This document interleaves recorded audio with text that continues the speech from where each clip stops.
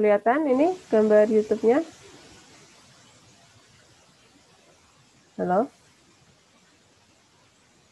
Kelihatan, Bu. Oke, silakan diperhatikan ini mah. Uh, sebelumnya saya kasih tahu ya kenapa perlu ini supaya Anda ada gambaran ya. Kalau dalam presentasi saya kan cuma apa namanya? cuma gambar dua dimensi. Jadi nggak kebayang nih maksudnya gimana. Nah ini kita lihat lah ya yang kondisi di laboratorium itu seperti apa. Sebentar ya ini teh saya mau anak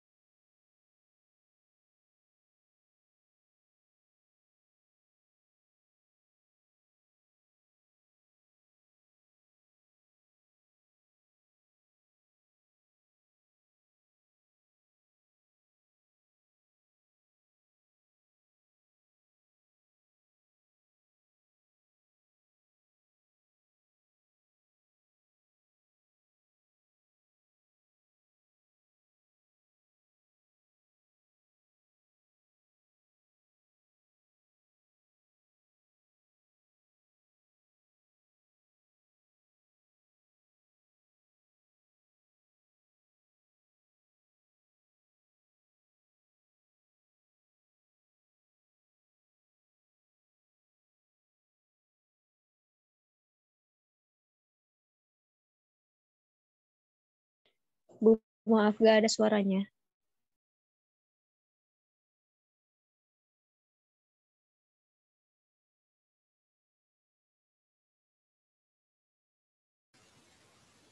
Ya. Gak apa-apa ya, tadi aja emang gak ada suaranya ya, cuma musik aja. Jadi dilihat aja gambarnya.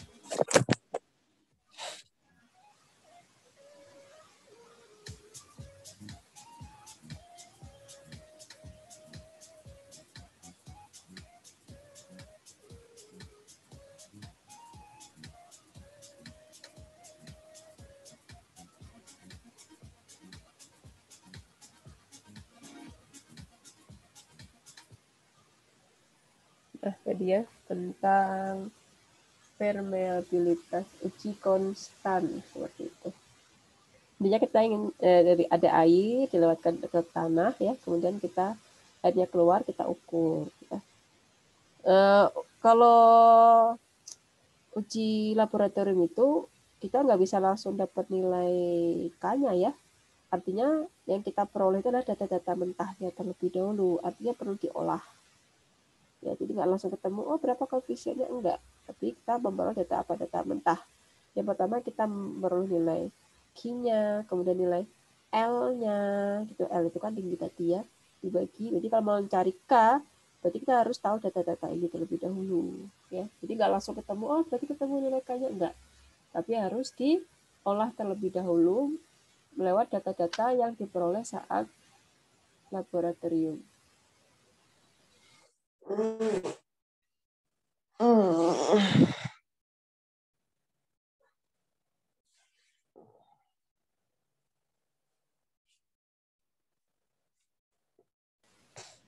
Oke.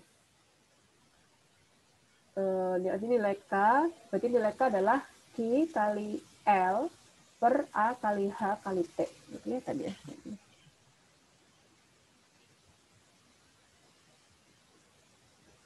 Nah, ya. Nah, kaki kali kaki adalah debit, L adalah tinggi tanahnya, berarti A adalah luasan. Luasan siapa? Luasan tanah. Tadi katanya kan kalau misalkan pakai bejana bentuknya tabung, maka luasan itu permukaannya ya. Kalikan dengan H, H itu adalah ketinggian dari air sampai ke bagian yang sini, gambar ini. Dibagi dengan T. T itu apa? T itu adalah waktu. Tadi kan berarti saat praktikum itu selain kita ukur volumenya, kita ukur juga waktu ya pakai stopwatch seperti itu. Atau rumus lainnya adalah oh ini harusnya ada gambarnya maaf ya nih uh, uji tinggi jatuh sepertinya kayak bilang ya. Nah ini di harusnya uji tinggi jatuh. Gambarnya terlalu jauh.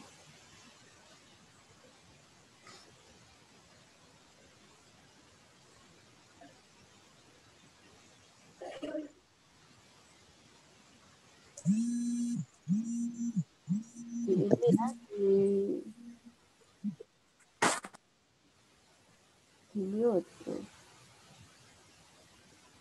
Nah ini uji rembesan dengan cara tinggi jatuh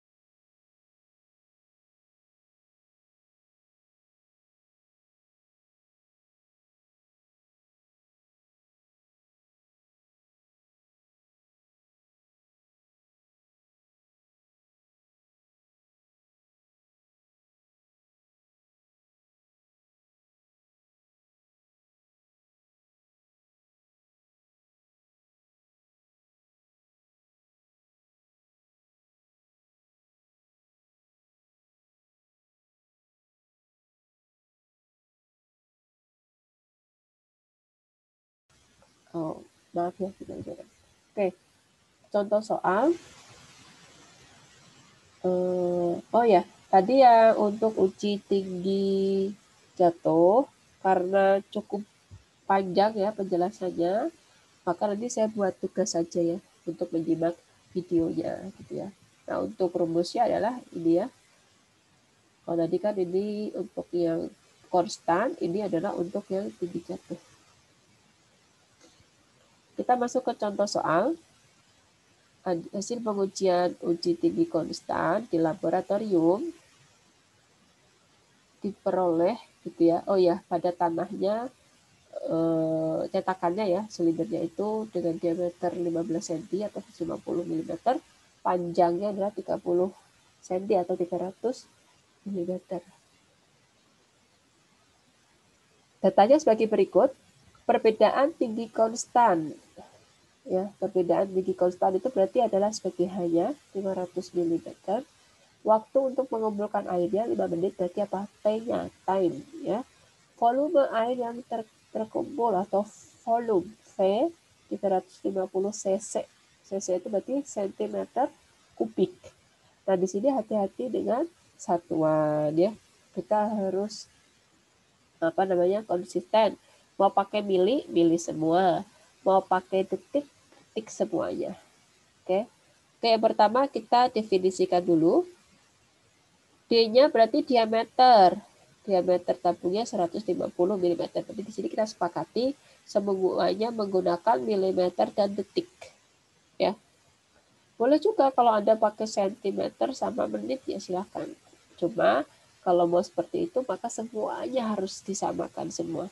Waktu jadikan menit, ukuran panjang jadikan sentimeter. Kalau Anda pakai milimeter silahkan. Maka semua ukuran panjang jadikan milimeter ya. Kemudian uh, ingin waktunya detik, maka semua data tentang waktu dijadikan detik. Ya, harus konsisten. Oke, D-nya adalah 150 mm. A, nah, itu kan kita anggap bentuknya lingkaran ya. Lingkaran rumusnya adalah seperempat pi D kuadrat. Ini harus hafal ya.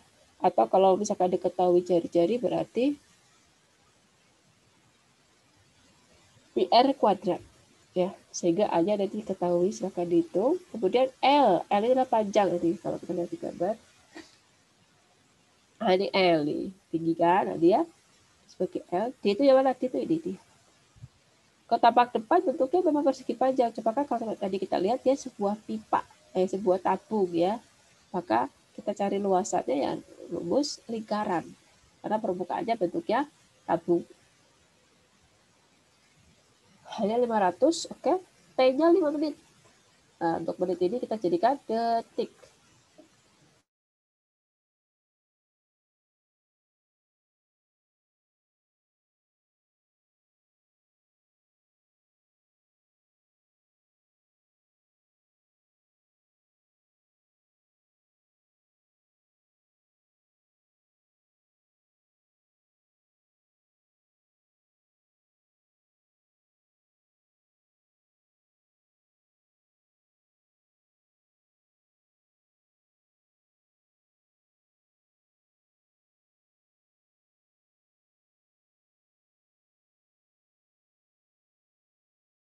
Sebentar ya, ini anak saya datang.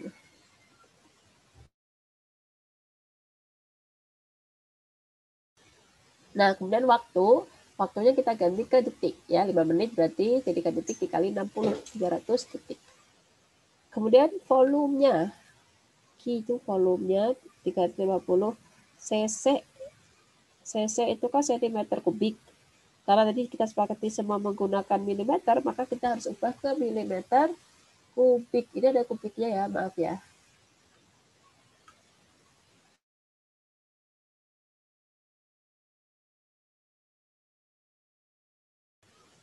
Ada kubiknya ya.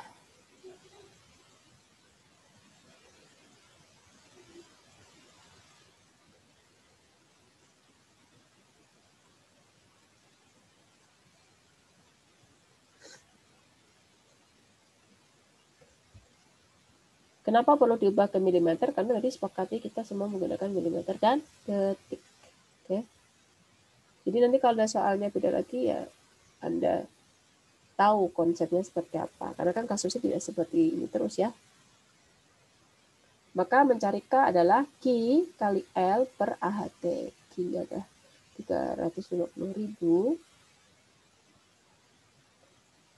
kali L, L 300 dibagi A kali H kali T. K hati-hati ya berarti dikurung dulu karena kan dia pembagi hasilnya adalah 3,96 kali 10 pangkat min 2 mm per detik. Kebayang ya sangat kecil sekali. Bayangkan berarti itu kecepatan airnya dalam satu detik itu cuma 0,0000 jadi hampir diam. Makanya jangan heran akhirnya kecepatan atau V kuadrat per 2G itu kita anggap tidak ada jadi kalau sekecil ini dia kategorinya ke uh, jenisnya lem, liat ya, karena liat ya, lanau lah. Maaf karena lanau. Seperti itu.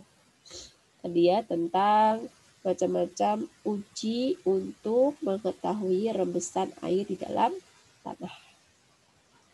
Kemudian kita akan mempelajari macam-macam jenis rembesan di dalam tanah di mana rembesan ekuivalen pada tanah yang berlapis-lapis. Karena kan tanah itu tidak, misalkan dalam satu titik, itu tidak selalu tanah itu punya memiliki lapisan yang sama. Meskipun di titik yang sama ya. Karena kondisi di lapangan pasti menunjukkan setiap lapisan itu memiliki kondisi yang berbeda. Pertama adalah kita ingin tahu lapisan tanah pada kondisi hori arah vertikal. Ini terlalu gede.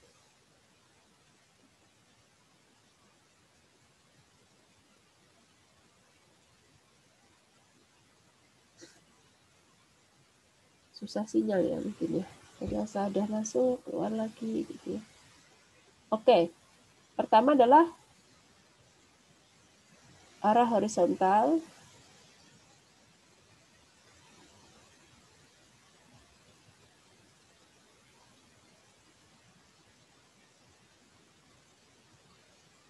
Nah, ini arah horizontal. Horizontal itu maksudnya gimana? Tadi kan disampaikan di sini tanah e, memiliki lapisan berbeda-beda. Ini yang satu, lapisan satu, lapisan dua, lapisan tiga, dan seterusnya. Nah, dinamakan dengan lapisan uh, arah horizontal itu adalah kita lihat di sini KH1 ini ya. Jadi airnya itu mengalirnya arahnya horizontal mendatar. Karena dia berlapis-lapis, kadang kita ingin tahu di titik itu, karena kan data itu diminta di titik itu, gitu ya gimana caranya nih biar dapat nilai koefisiennya dan mewakili beberapa lapisan ini, maka rumusnya adalah KH ekuivalen.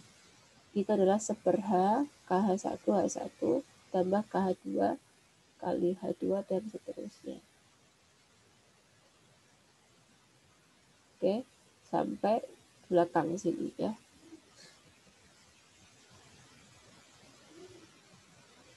Kemudian selain horizontal ada juga namanya vertikal. Kalau vertikal bentuknya berarti yang atas ini ya. Nah, cara menghitung yang vertikal gimana? Menggunakan isometer ini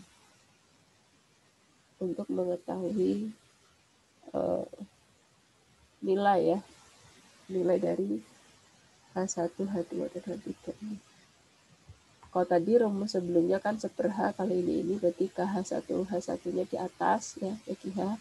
Kalau sekarang kebalikannya H-nya dibagi dengan nah, ya, H1 per KV1 ya. Intinya rumusnya berbeda antara arah horizontal dan arah vertikal.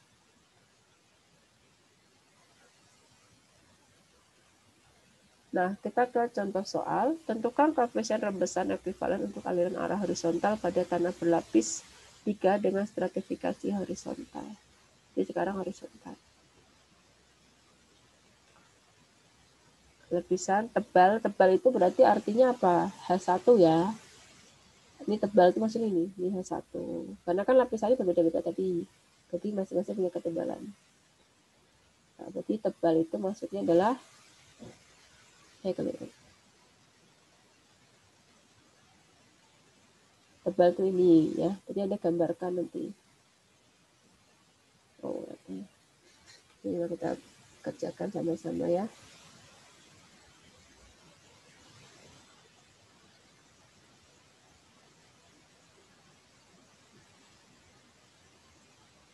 Digambarkan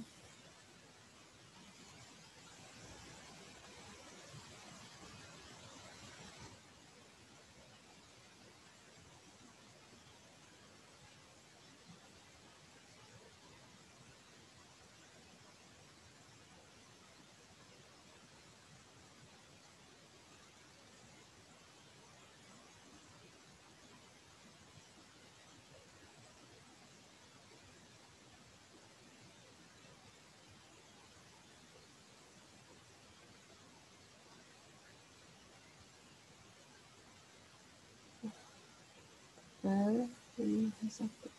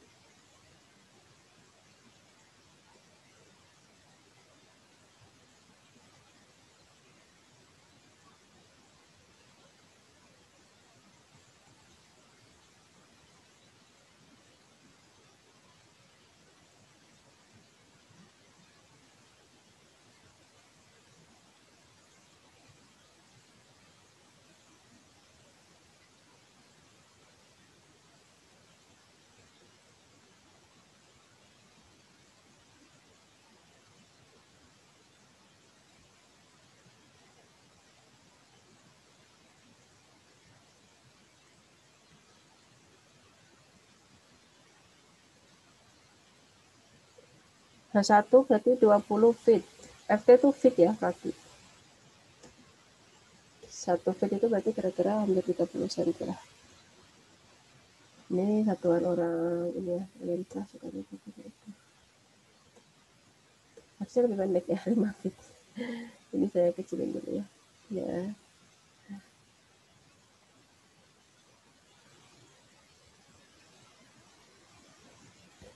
biar uh, skala 10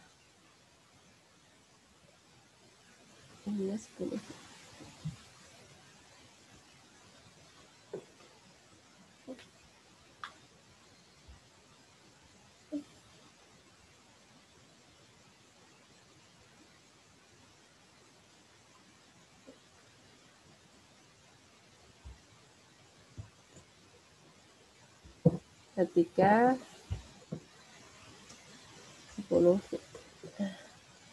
Nah, jadi gambarnya kira-kira seperti ini. Kemudian koefisien rembesan arah horizontalnya berarti adalah nilai K. Sebentar ya, ini ada anak saya. Ada.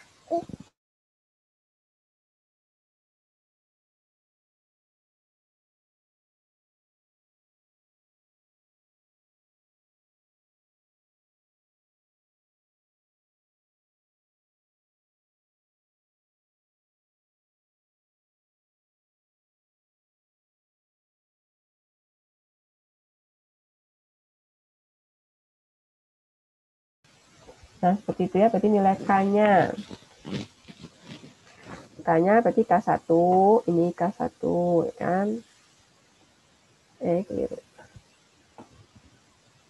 Berarti ini sebagai K1. Ini K2. K-nya kecil ya, harusnya cuma di sini. Eh,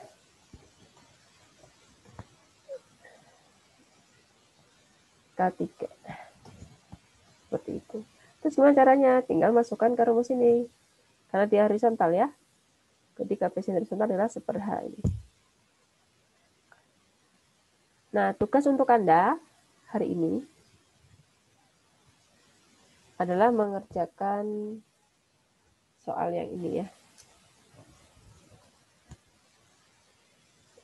Oh, enggak usah. Nanti saya beri aja ya lewat WA group ya um, untuk materi ini saya stop dulu. Nanti saya berikan materi yang lainnya ya. Sebentar ya